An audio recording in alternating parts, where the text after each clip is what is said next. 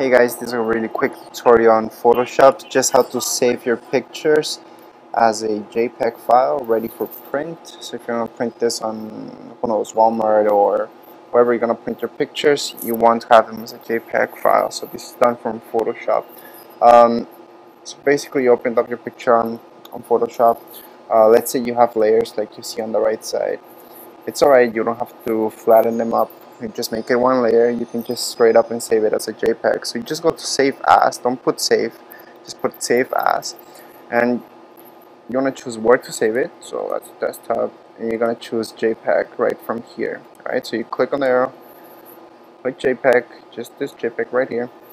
And well you can change the name or anything. Um, just make sure it says JPEG right here. And just put save so you want to save it to maximum. And there it's saved right now. I'm just gonna check it out. So it's right here on my desktop. So you have to make sure that the extension says JPEG right there. Once we open it up it is a JPEG. And that's how you save JPEGs from Photoshop